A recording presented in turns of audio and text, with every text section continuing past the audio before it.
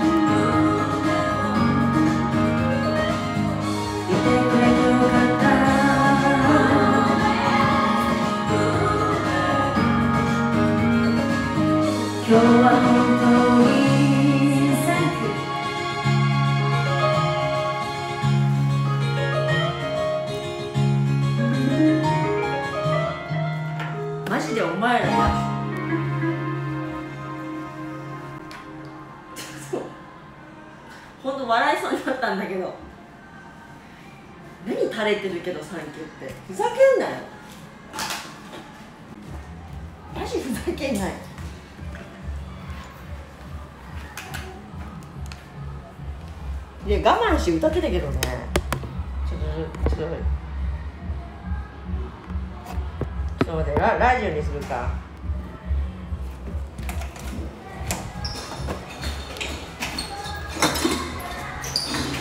ありがとうみんな。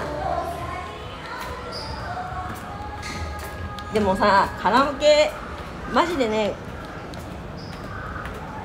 やばいんだけど。あ働くパパさんお疲れ様。ちょっとちょっと待って。あすいません。はい。はい。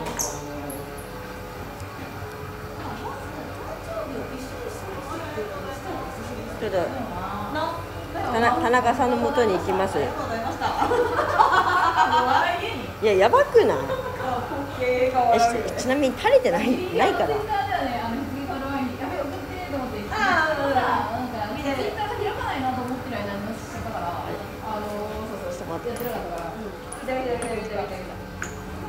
腹向き今日は一時間で終わっちゃったまたまたやるね本当にちょっともう仕事の時間がずれるからね。それがね。あなたの場合遅いからね終わるね。ねね最後お疲れ様もみもみしようかね大抵ねあのカラオケやるとさああのキラキラコメにで溢れてたんだけどね今まで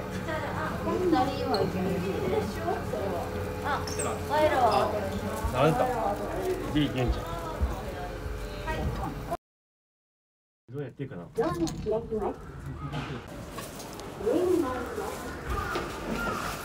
構明るい。あ田中さん。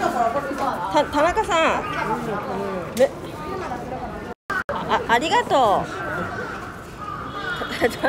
目の前にいた田中さん。え羽織ってる？いや止まってる。マジで？ララグがあんのかな？しょうがないよね。多分バッテリー充電してるから。こああそういうこと？っちだ。ねえねえた田中さんごめん。うんまさかうん。迎えに来てくれると思わなかったから。ありがと一応見にう行くだけ見に行ってあのタクシーで帰ろうと思ってたから、優しいね田中さん。ありがとう。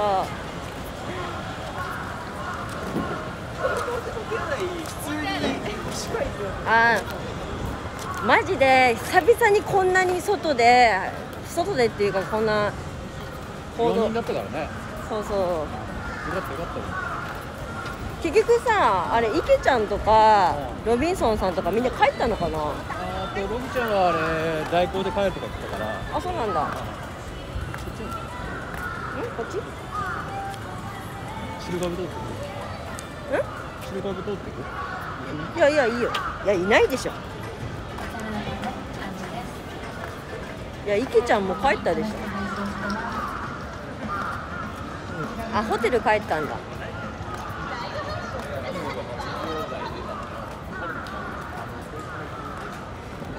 今からお家帰りますよ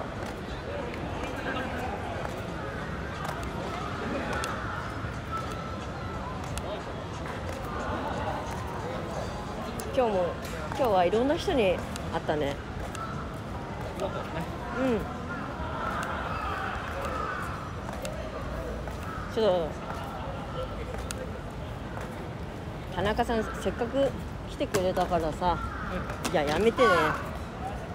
いや田中慣れてますから一期一会は大事に大丈夫ですよ。あもう今日爆睡。もう最近前さ12時間寝るからね。今日も12時間寝ないと。疲れが取れない。しかも最低12時間だから。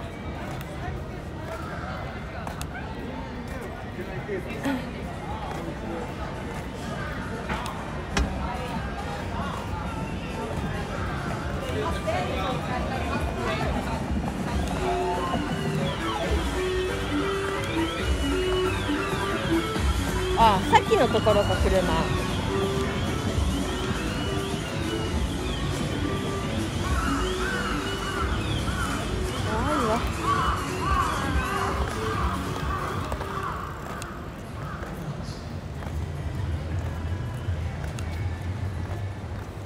大丈夫？田中さん疲れてない？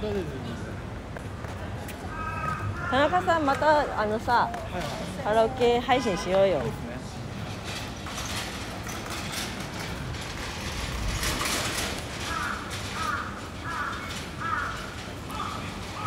あ働くパパさっき働くパパね、はいはい。来てたんだよ。いや朝下だったあ本当？ラランリーバーにね働くパパいたんだよ。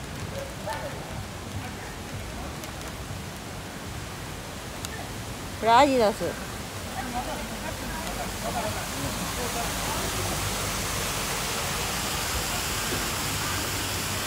やべえ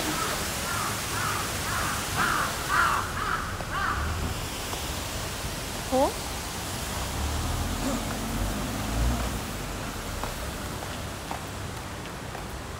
あ疲れた。う動けない。これ？ありがとう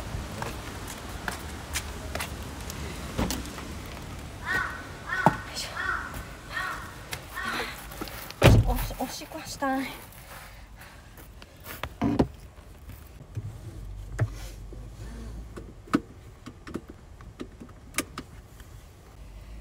ふうまさか朝までやると思わんかった。スタイリーね帽子で台無し？え可愛いでしょ。もうぺったんこだからさ。ない方がいいかな。私さ普通にさ今日もお風呂入ってからさ新宿来てんの。なんでこんな入ってない感じになっちゃうんだろう。ああーありがとう。田中さんありがとう。お茶買ってくれた。優しい。運転で帰りましょう。お疲れ様です田中さん。いいお疲れ様です。今日は5月21日土曜日です。田中さん今日疲れてるからね。あのキャバクラにあのねし今日指名しに行って。いや明日ですね。あ今日ですか？え今日今日だってだってキャバクラ帰りに来てくれたじゃん。今日は接待でもセッターでキャバクラさうん。ね、その後に来てくれたわけよ。いやまあまあ全然無理じゃなかったね。で明日もキャバクラの何せ。今日今日ですか？あ今日も。今日も今日は誕生日なんで。あ忙しいですね。あ前にナイスお願いします。ありがとう。マジで毎日キャバクラ三昧だね。すいません。いやそこはすいません。羨ましいです。それは彼女逃げるわな。羨ましい。え？1分ぐらいでありがとう田中さん。いや彼女いるんだよ田中さん。あもう彼女いなくなりました。え？別れたの？別れたっていうかなんか平行線だったみたいなんでうん。まあ何も手出してないんで。うん。えどうやって終わったの？え？どうやって終わったの？いやあの最後にちょっと配信してたんですけど。うん。あそこはちょっとね。あ秘密なんだ。やりましょうあのほら向こうの方にも失礼なんで。あー。あみきちゃんお疲れ様ですみきちゃん。またねあの遊びましょう。みきちゃんが気使ってくれてね迎えあーそうなのみきちゃんありがとみきちゃん優しいんですよ。妹分ですからね私ういや田中さんも優しいよ。ありがとうございます。みきちゃんゆっくり休んでね今日は。えみきちゃん今日頑張ったんじゃないですか、うん。外出ない人すごいよなあんなベロベロ体力あるよね。すそっか田中さん別れたらしい。あ、まあ、別れたっていうか僕が勝手に彼女って言ってただけ。で悪い思いさせてないんで。かっこいい。いや下心とかないよ別に田中さん。いや下心だったらねもうとっくに下やって下ますよ、ね、心とかで動いてないよね。いや下心だったらとっくにもういろいろやってますよ私、うん。少なくとも写真撮ったら僕じゃないんで。え写真撮ったら僕じゃないんで。あみきちゃんありがとう。みみきちゃんもね綺麗だったよ。みきちゃんも綺麗でしたね。で細か細いねみきちゃんは。みきちゃんちっちゃいんですよね。でもやっぱりそのやっぱ団体になっちゃうと私コミュ障だなってやっぱり改めて気づいた。しゃべれない。これ見せないのかってありがとう353個さんお疲れ様です。置物だった？えしょうがないよね。しかもみんな初めましてじゃん。まあしょうがないですよね。うん。いやーてか私やっぱねダメなの。苦手なの団団体。おお大勢って本当苦手なの。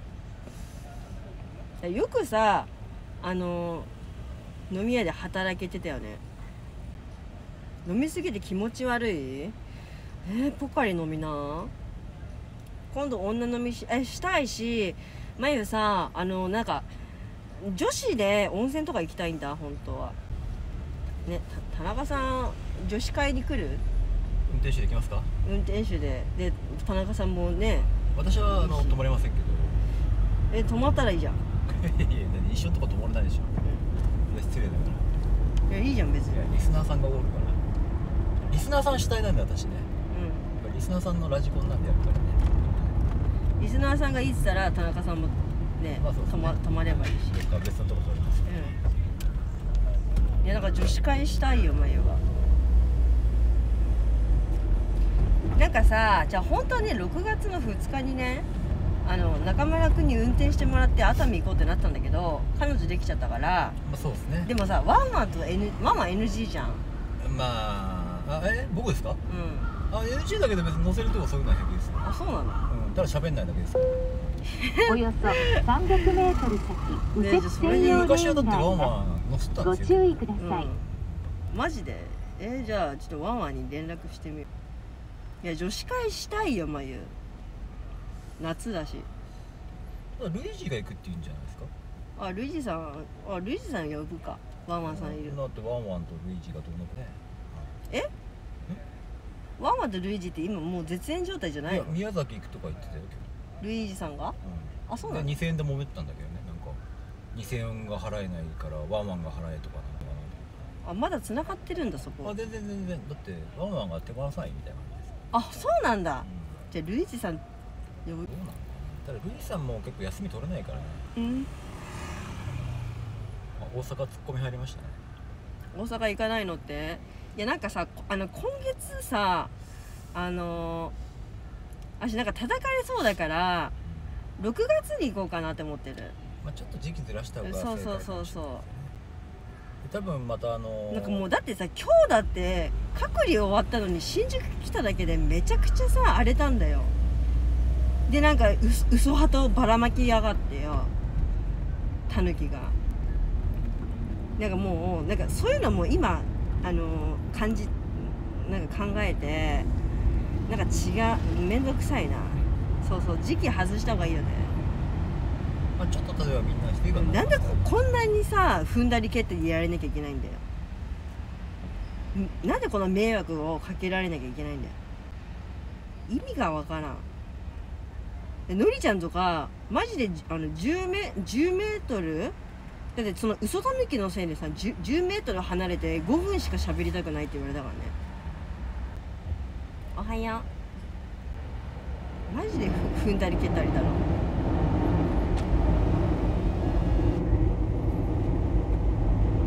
でランランランディーバーでもさなんかな殴り合いみたいになってたし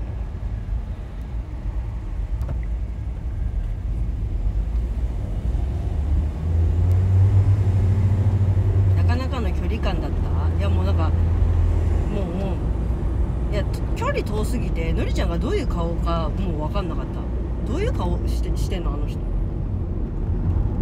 顔立ちも分かんなかったからね。で眉ねちなみになんか6月から海外に行けるらしくってワクチン打つとね。だから私ワクチンそう打とうかなって思ってる。ワクチンを3回打ったら海外に行けるらしいよ。ほとんど。渡航証明書が出るんですよ。ねそうそうそう。だからしょうがないから私しゃあないしやっぱワクチン打つわ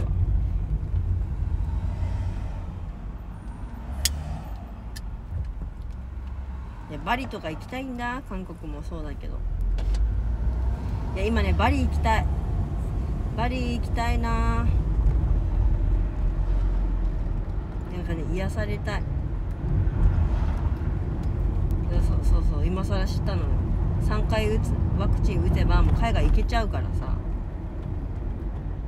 2回目から半年経たないとそれどこ情報。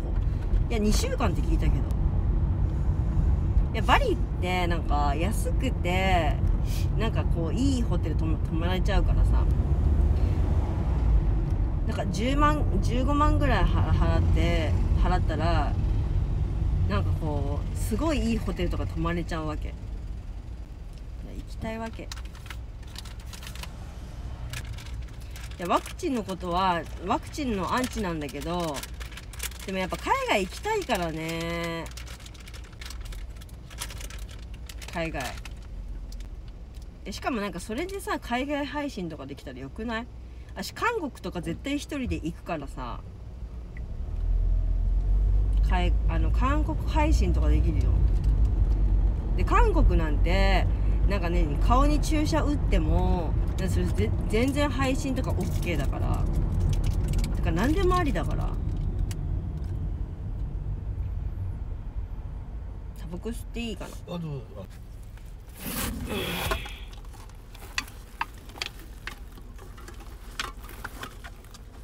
やべおしっこしときればよかった、ういやでもいいよ。我我慢。だって20分ぐらいだよね。あれあありがとう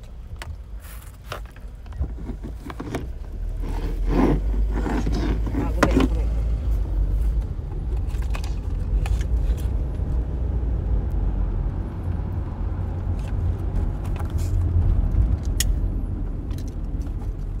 ありがとう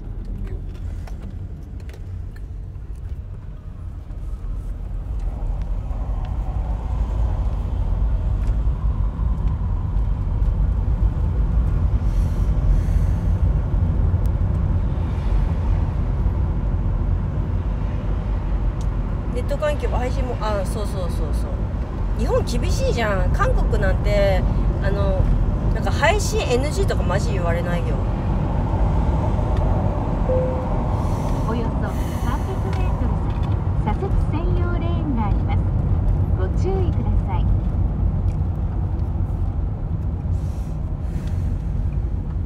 韓国行きたいな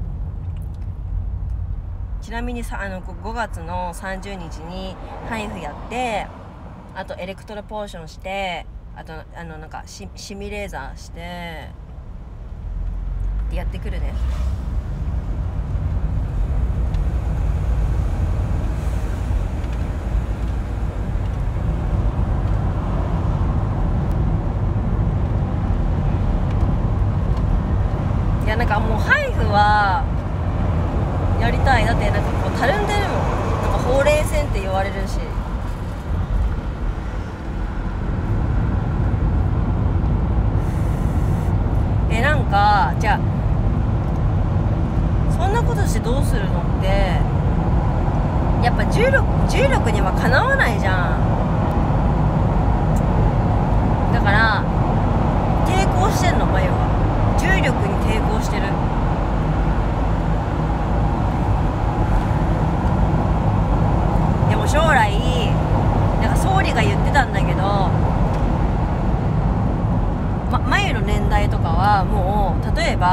60歳とかになってももう 10, 10代とか10代のような若返りにななれるなんかそういう技術が出てくるらしいもしかしたらうちら不老不死になるかもしんないなんて。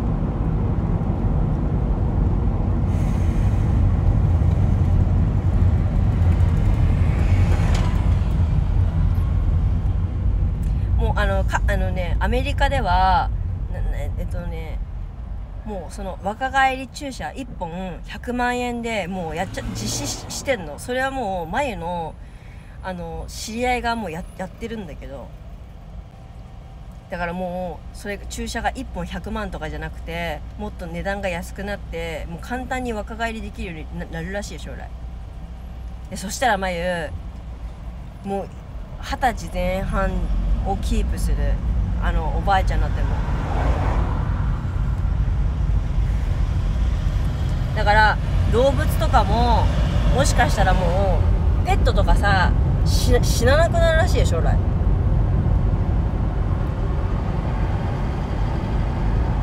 なんて注射いや忘れたけど 100, 100万世だ1本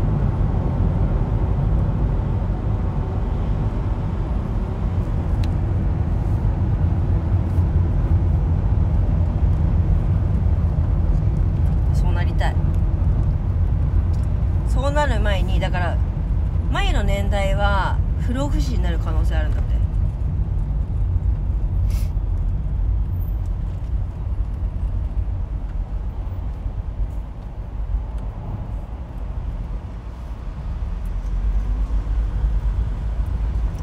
だから今はその最初はやっぱ富裕層しか打てないと思うけど今後コスパが安くなってくるんじゃないの？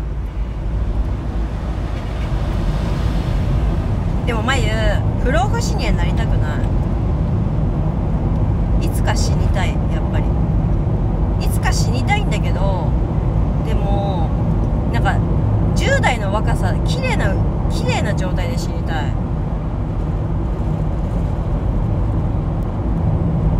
いつか死にたいよね。えみんなさ一生生きたいと思う？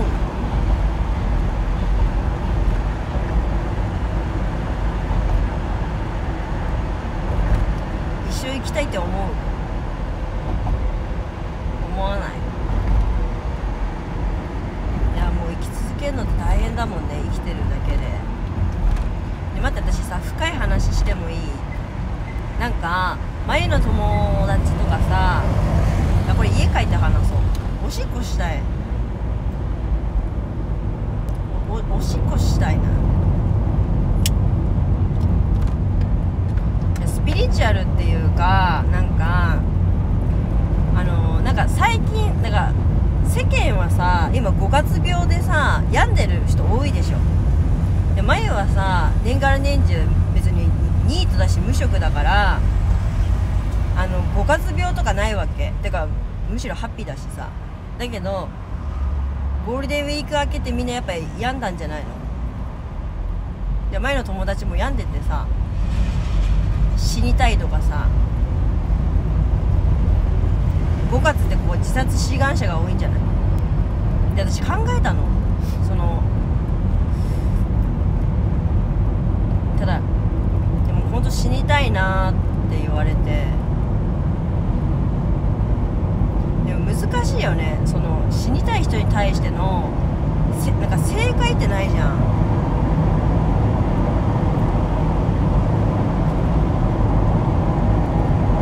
なんか生き生きろとかさあありがとうみきちゃん。あみきちゃんごめんね心配かけちゃって。だ大丈夫だよ。みきちゃんゆっくり休んでね。ありがとうみきちゃん。いやだ死ねとも言えないし生きろとも言えないじゃん。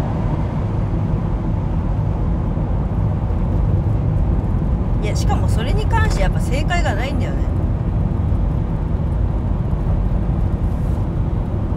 で眉もてか人間ってあの死にたいって思った人の方が絶対多いと思うの。えミキちゃんちダメじゃん彼氏いるから。でもいつかミキちゃんちお邪魔したいミキちゃんちじゃあいつかお邪魔させてもらうね。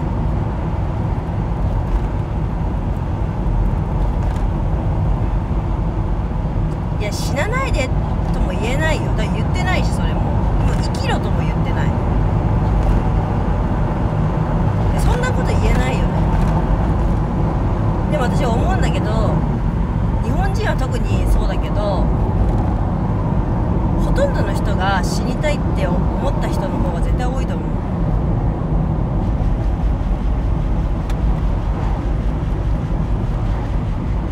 やっぱつ辛いこともたくさんあってみんなね。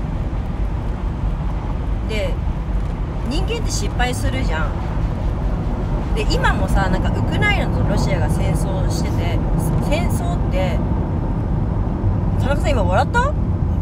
田中さん今笑ったよね？いや話しただけですけど。本当？いや全然何も。だから人間ってだから戦争ってさ毎年じゃあしちゃいけないって言言ってるのに戦争はやっぱりやっちゃいけなかったって言うのにでもやっぱりさ何百年経っても戦争するじゃん。で何年後にやっぱり戦争しなしなければよかったねっていうその繰り繰り返しでさ人間って失敗するわけ。ミスを犯すじゃん誰でも。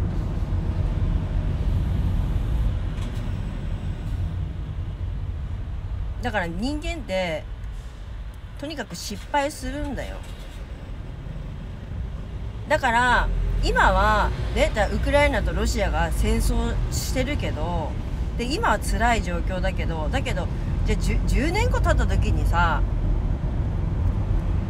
やっぱあの時のあれって失敗だったよねって。でしなくてよかったよねって何年後に絶対言うじゃん。しなくてよかったんだよ戦争なんて。それと一緒で今は自殺したいけど何年後かに何年か経った時にあーなんかあん時辛かったけどでもなんかあん時死ななくてよかったよよかったなとかなるかもしれないじゃん。うんだからいや今は辛いけど数年経ったらいやそれを耐えてさ生きててよかったって思うかもしれないよって言っといた、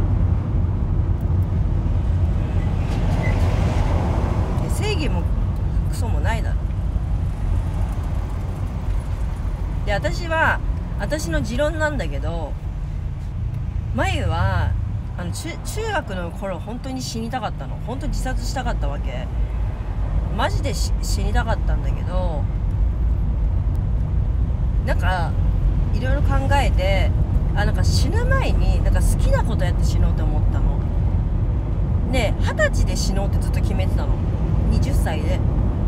だから15161718って生きててさ。でもやっぱ年々やっぱ辛い辛いことあってもでも私二十歳で死ぬしなって。二十歳で死ぬってことを目標にしてたから。いやどうせ私二十歳で死ぬしとか。あの死ぬ日を決めてたわけ。よなんかねそう思おうとすると楽だよ。およそ300メートル先右折専用で二十歳になってやっぱ考え方変わったわけ